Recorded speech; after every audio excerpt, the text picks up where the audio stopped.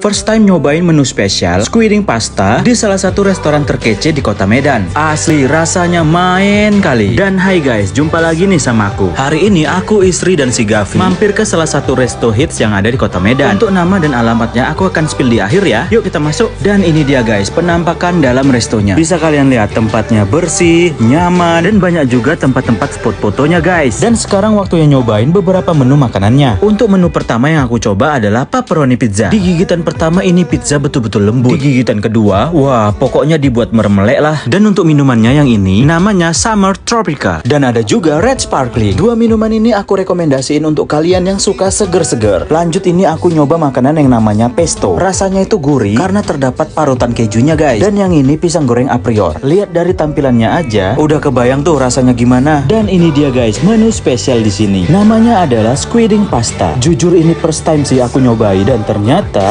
Serius, ini enak kali guys. Sampai-sampai istriku minta sisain aja nggak aku kasih. Dan aku juga mau kasih tahu kalian, resto ini juga nyediain menu sarapan. Kayak yang ada di depan aku ini, namanya itu Egg Benedict yang terdiri dari roti, selada, tomat, daging slice dan juga telur setengah matang. Selain itu, di sini juga ada promo namanya Morphine Morning Caffeine dari jam 9 sampai jam 11 pagi. Jadi yuk langsung aja datang kemari ke A Prior House. Alamatnya ada di Jalan Iskandar Muda, nomor 95 sampai 97 Medan.